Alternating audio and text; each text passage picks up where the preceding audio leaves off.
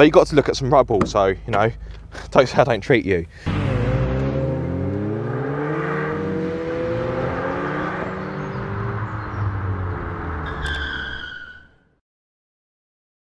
Hello guys and welcome back to Car Obsession. You join me in a random quarry in Dorset.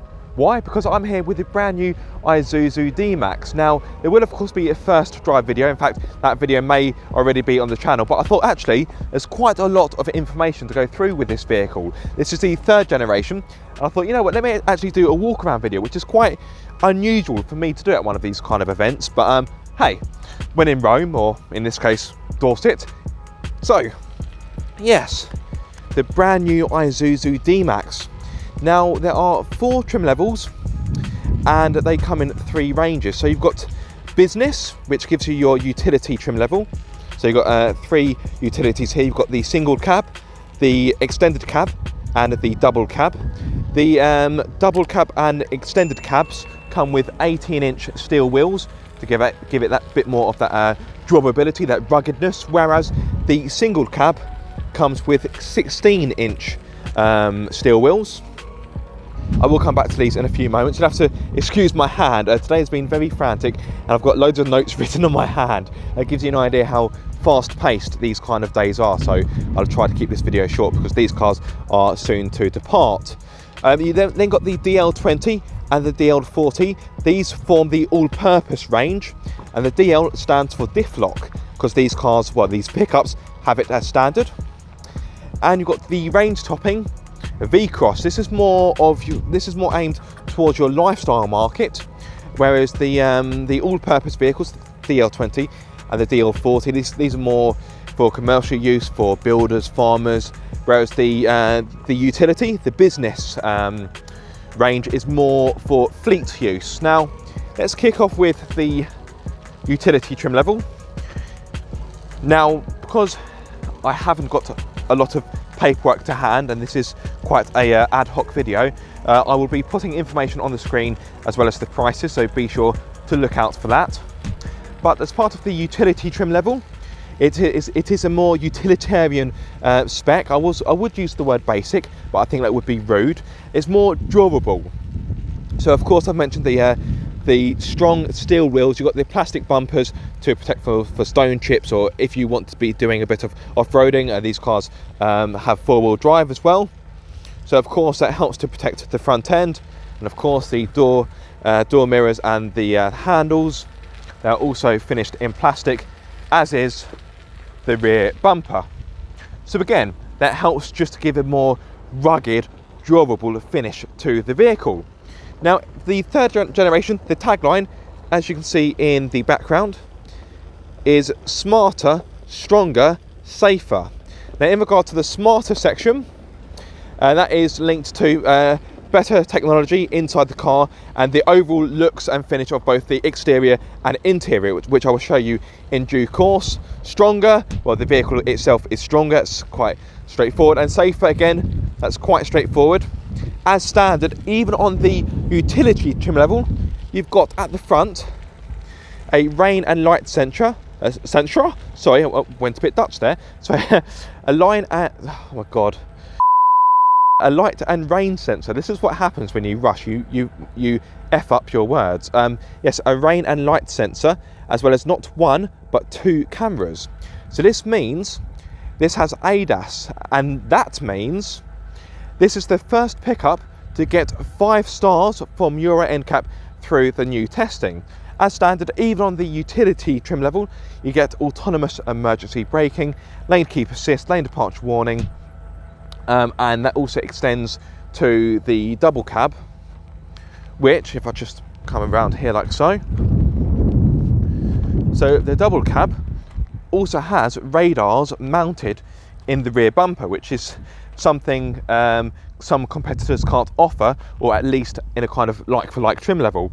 So because you've got the radars in the rear bumper, that means you also get um, blind spot monitoring, rear cross traffic alert, uh, rear cross traffic alert. Sorry, again, I'm rushing, and um, you also get can't think what it's called to hand, but I think it's emergency lane uh, intervention. So let's say um, you've got a car coming on well on either side really. You go to go out of your lane uh, the vehicle will pull you back into your lane to avoid an accident. Very nice and safe. Uh, if you go for an, a six-speed automatic which by the way is now 25% faster you get adaptive cruise control as well which again is uh, is uses the uh, two camera system or the stereo camera system as Isuzu refer to it as. Now in regard to dimensions the overall D-Max as a whole is 30 millimeters uh, shorter, but the wheelbase has been extended by 30 millimeters. That means there's more space inside. I will take you inside in a few moments. The load bed is also 30 millimeters deeper, and you may think, well, hang on, if it's deeper, it's going to be more difficult to reach in and get items. Uh, well, Isuzu are ahead of you on that one because you've now got this integrated rear step into the bumper, so you can literally put your foot up like so and grab what you need. If you go to a double cab, like so, sorry to keep swapping from vehicle to vehicle, open it up and you'll see, look, it's got dampers. So it opens nicely and smoothly so you don't get that, that clack, clack, clack, clack, clack, clack, clack as the uh, tailgate slams down. It's all nice and smooth, smooth like velvet. Now, for what it's worth, you don't get the same kind of uh, functionality on the single cab. Uh, the reason being, quite often these are converted anyway, so it seems silly to, um, to give you something that will not be used. So if I pull this, you'll see it's a more basic affair. I believe the same extends to the um, extended cab, or I may just be talking rubbish. I am talking rubbish. Apologies. For some reason I thought the extended cab uh, didn't have the uh, the damping um, uh, tailgate. Right. So as promised, I'll take you inside the vehicle. So this is, of course, the uh, utility single cab, the uh, the most um, basic model, but I use the word basic as a as a compliment because um, compared to the other models this is basic. But you still get a uh, driver seat which is six way adjustable. Yes of course it's manual but it's still better than its competitors. And you also get a lumbar support which again is pretty good. You may have spotted the tall gear lever. This is of course a six speed manual. Um, in regard to what powers the vehicle it is a 1.9 litre turbocharged diesel which offers 164 horsepower along with 360 newton meters of torque. As mentioned, you can have a six-speed manual or a six-speed automatic. Take you inside the car, you may be able to see the lighting's a bit iffy, but you do have a nice digital display in the uh, in the middle there. And uh, it's, a, it's a practical affair as well because you've got a little cubby here, like so, maybe pop a few smaller items in there. Um, you've got these nifty cup holders here. Well, I say cup holders, they're more can holders, but better still, you can actually move the uh, cup holder element away and you've got a small tray you can use instead. I like that. Uh, the, the, passenger side also has the same. And for some of the um, more plush trim levels, you also get um, center storage, but I will show you that. You get a glove box as well which is uh, yeah, a fair enough size. But there we go. You get DAB radio as standard and Bluetooth. As you can see, there's no touchscreen, so it is a, a more. Um, I, I, don't. The word basic keep, keeps coming to mind, but it's not quite as plush as the other models. But of course, um, this is the base model. You do get aircon though, and as you can see, you've got the uh, uh, controls there for the four-wheel drive. So you've got uh, two-wheel drive, so it's rear-wheel drive four-wheel drive or you've got the um, locking uh, four-wheel low range. So I was going to say locking diff, but the locking diff is on the uh, higher trim levels. You've got the extended cab here. The interior is uh, the same. Uh, this one has got a factory fit touchscreen, so don't let that fool you. It isn't standard. And one thing that is standard though, even though Isuzu you have to pay more to produce it, is this vinyl flooring. Hopefully you can see it. Normally this, this would be carpeted, but to make this uh, model more durable, more rugged and easier to upkeep, the flooring is vinyl. So if you've got muddy work boots, it will be um, easier to keep clean. I like that. Also, actually whilst I'm here, uh, no, actually I'll touch upon that when I head over to the double cab. So again, this is a, another utility.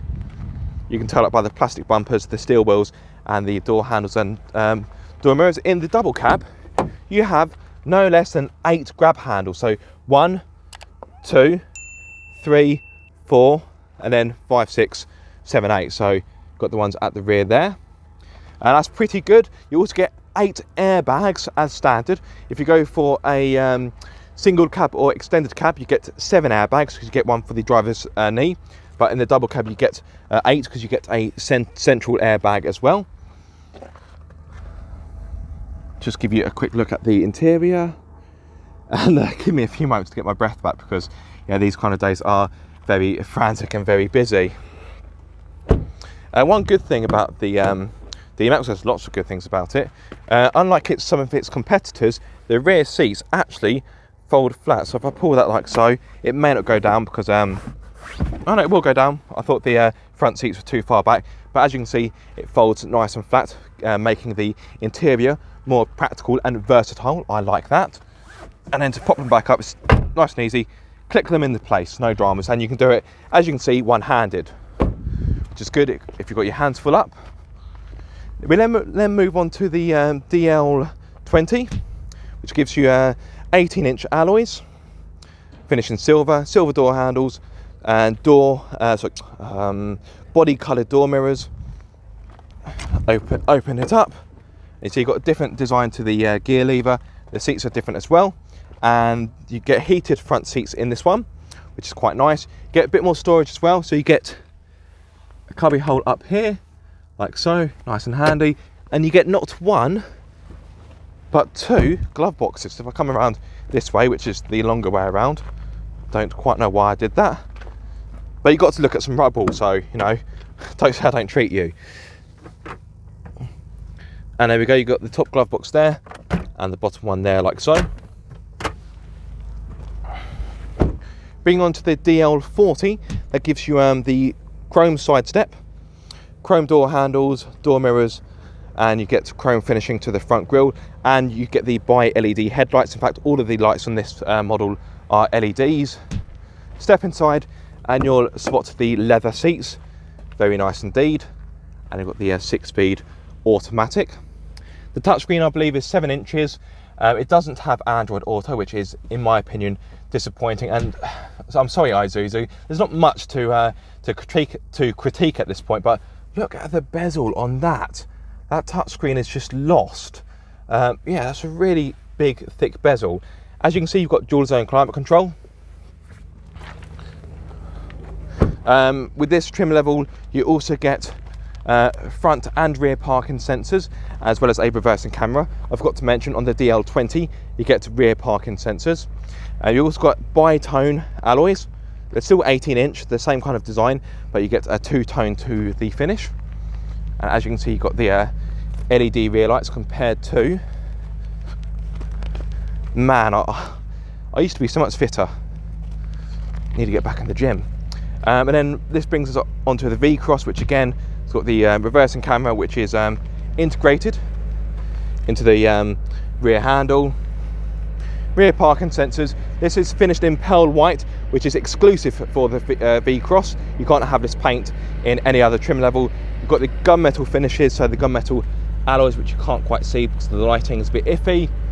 Door handles, door mirrors, and the front grille are also finished in a quite um, smart looking gunmetal grey. Again, inside you've got leather seating. It's worth noting uh, that you get a power adjustable front seat, eight way adjustable, and the lumbar support is actually electronic, not manual. I think.